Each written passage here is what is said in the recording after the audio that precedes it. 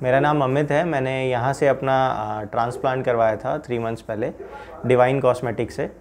और मैं अब नोटिस कर रहा हूँ तीन महीने बाद कि मेरी हल्की हल्की ग्रोथ हो रही है। यहाँ पे भी, यहाँ पे भी फोरहेड पे और यहाँ पे आगे। ब्लैक ब्लैक स्पॉट्स भी नज़र आ रहे हैं।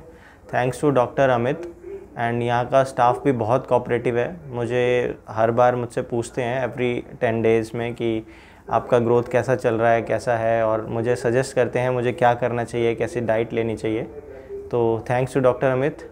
बाकी आगे रिज़ल्ट देखते हैं कैसा आता है।